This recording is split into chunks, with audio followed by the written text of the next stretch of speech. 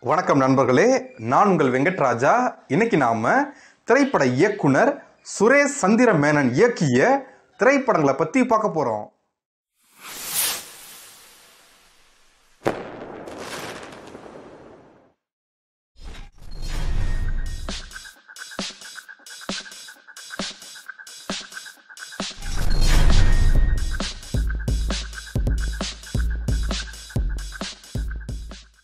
இதுவரை இரண்டு திரைப்படங்களை இயக்கிய திரைப்பட இயக்குனர் சுரேஷ் சந்திரமேனன் அவர்கள் சில திரைப்படங்களில் எழுத்தாளராகவும் நடிகராகவும் ஒளிப்பதிவாளராகவும் பயணித்திருக்கிறார்.